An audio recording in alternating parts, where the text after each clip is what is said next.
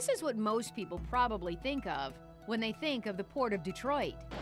Cargo, everything from steel to petroleum to cement, being loaded onto and unloaded from ships. Just how important is it? Well, in 2010 alone, the Port of Detroit contributed more than $6 billion to the local economy, and the port system employs more than 5,000 people. But this is the new face of the port. It's the Detroit Wayne County Port Authority Terminal and Public Dock, right along Atwater near the GM Renaissance Center. Well, we're very excited about this building. I mean, this building is really the building that belongs to the people of this area. And it will hopefully bring more visitors to Detroit.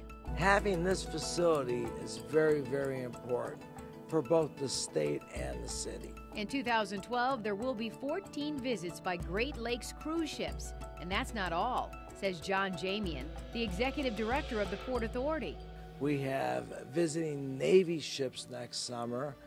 We have visiting tall sailing ships. These are the big sailing ships, all coming down here. Those are all things that bring people, they bring jobs, and they bring dollars down to the city of Detroit.